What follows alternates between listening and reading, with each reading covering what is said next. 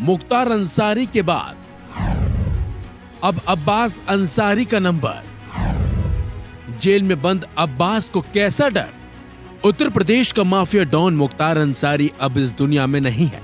Banda jail में बंद मुख्तार अंसारी की अचानक तबीयत बिगड़ी थी और फिर उसे अस्पताल ले जाया गया था, जहाँ हार्ट अटैक से उसकी जान चली गई थी। वहीं अब जेल में बंद मुख्तार अंसारी के बेटे अब्बास अंसारी को भी एक डर सताने लगा है। वो भी जान जाने का डर। दरअसल मुख्तार अंसारी के परिवार का आरोप है कि मुख्तार अंसारी को जेल के अंदर जहर दिया गया था। उसी वजह से मुख्तार की जान गई थी। वहीं अब अब्बास अंसारी को डर सता रहा है कि जेल के अंदर उसे भी जहर दिया जा सकता है। मुख्तार अंसारी के बड़े बेटे अब्बास अंसारी ने कहा कि मेरे पिता की जान लेने में शामिल लोग अब जेल प्रशासन से मिलकर मेरी भी जान ले सकते हैं। अब्बास अंसारी ने खाने में जहर मिलाने की आशंका ज़ाहिर की है। बता दें, बांदा जेल में बंद रहे मुख्तार अंसारी ने मौत से कुछ दिन पहले खाने में जहर दिए जाने का आरोप लगाया था।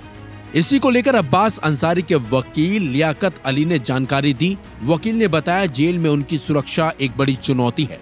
इसके बाद गाजीपुर के सीजीएम ने कासगंज जेल के प्रशासन को आदेश दिया है कि कैमरे की निगरानी में उनके खाने की जाँच करवाई जाए। सुप्रीम कोर्ट से अब्बास अंसारी को मिली तीन दिनों की अंतरिम जमानत खत्म होने के बाद उन्हें जिला जेल से कासगंज जेल भेज दिया गया। अब्बास अंसारी को अपने पिता मुख्तार अंसारी की कब्र पर फातिहा पढ़ने के लिए जमानत मिली थी। इसके बाद अब्बास अंसारी 10 अप्रैल को गाजीपुर पहुँचे थे।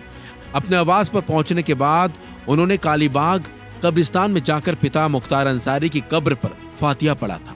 सुप्रीम कोर्ट के आदेश के बाद 13 अप्रैल को उन्हें कासगंज जेल में शिफ्ट कर दिया गया था। बता दें, बांदा जेल में बंद रहे मुख्तार अंसारी की अचानक जेल में तबीयत बिगड़ने के बाद उन्हें अस्पताल लाया गया था, जहाँ उनकी जान चली गई थी। मुख्तार अंसारी की पोस्टमार्टम रिपोर्ट में भी उनकी जान जाने का कारण हार्ट अटैक को बताया गया था, जिसके बाद अब मुख्तार अंसारी के बेटे अब्बास अंसारी ने भी जेल के अंदर जहर देने का आरोप लगाया है, जिसके बाद अब मुख्तार अंसारी के बेटे अब्बास अंसारी ने आरोप लगाया है कि जेल के अंदर खाने में उनको भी जहर दिया जा सकता है। इन आरोपों के बाद अब जेल प्रशासन के साथ साथ सरकार पर भी सवाल उठ रहे हैं। हालाँकि इस मामले में कोर्ट ने तुरंत संज्ञान लेकर जेल प्रशासन को आदेश भी जारी कर दिया है। लेकिन अब्बास के इन आरोपों के बाद अब विपक्ष भी योगी सरकार को घेरने की पूरी कोशिश करेगा। और तो और मुख्तार अंसारी का परिवार भी इन आरोपों के ज़रिए जेल प्रशासन और सरकार को ज़रूर घेरेगा। खैर, कोर्ट ने अब आदेश जारी किया है। अब जेल प्रशासन भी इस पर नज़र रखेगा। इस खबर में बस इतना ही। अपडेट्स के लिए बने रहिए वन इंडिया, हिंदी के साथ।